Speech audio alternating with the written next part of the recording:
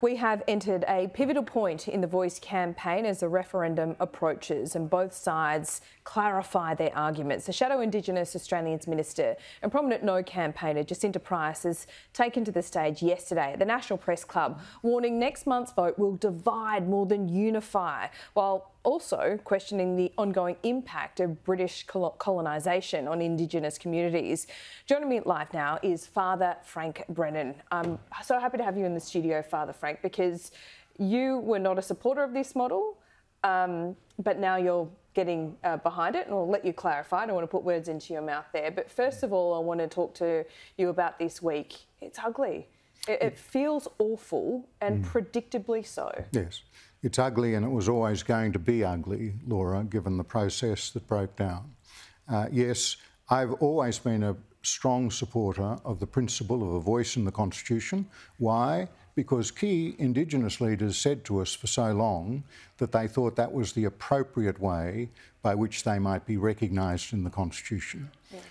For me, what was critical Murray Gleeson, who was a very respected Chief Justice of Australia, was a key member of the Referendum Council, you might remember, back in 2017, gave a key speech in 2019, fully endorsed by Noel Pearson, which said, look, you first of all got to set up the voice so people can see it and hear it so they know what they're voting for.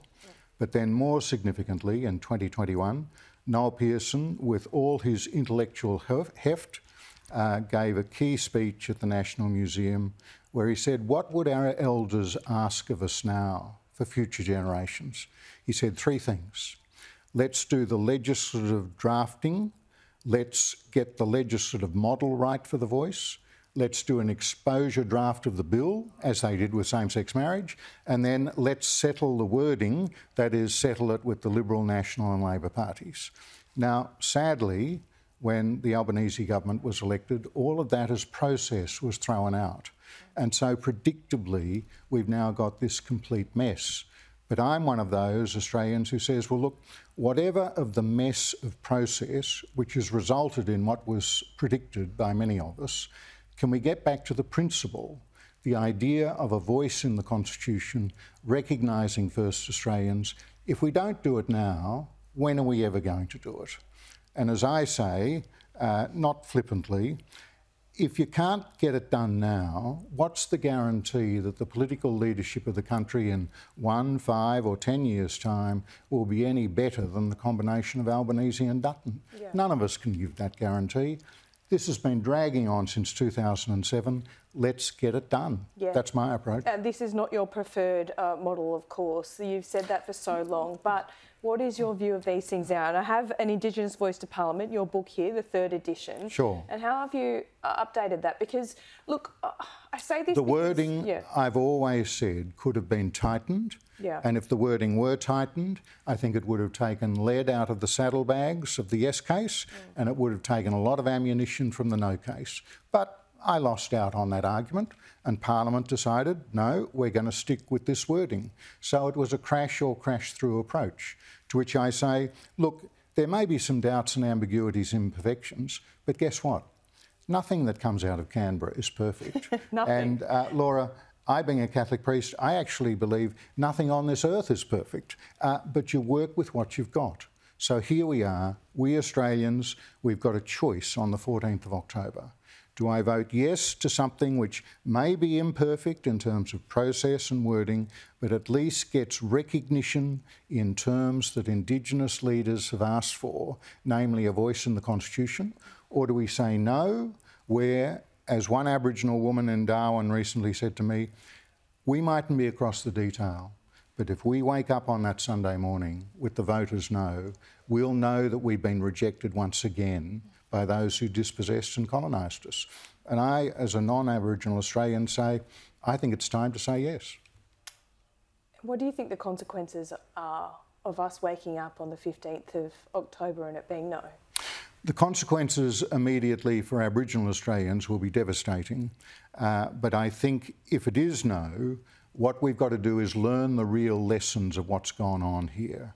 And let's name it for what it is. If it is no, it'll be the hubris of a new government that said, let's go for broke. We don't need to do the legislative design first. We don't need to get the opposition parties at the table. We'll just sit down and negotiate this confidentially with Aboriginal leaders. Well, if that works, it's a whole new way to amend the Australian Constitution. But let's remember, Laura, there have been 44 attempts to amend the Constitution, only eight have ever succeeded. The most successful Attorney General was Bob Ellicott. He said two rules. You've got to have all major parties on board, and second, you can't have any legal ambiguity or complexity. Why? Because you'll have retired High Court judges out there fighting with each other. What have we had? Nine months of that. What's that do for the punters? They say, look, hang on, we're not High Court judges. We just need to be able to make a decision in good conscience, yes or no. And what's your instinct? My instinct at the moment, I think it's been a very bad week for the Yes case. And uh, I think it's time for people to say, well, look, to vote yes, you don't have to be convinced it's all perfect. You don't have to be convinced the process was perfect. You don't have to be convinced that Mr Albanese and Megan Davis and Noel Pearson have got everything absolutely right. Mm.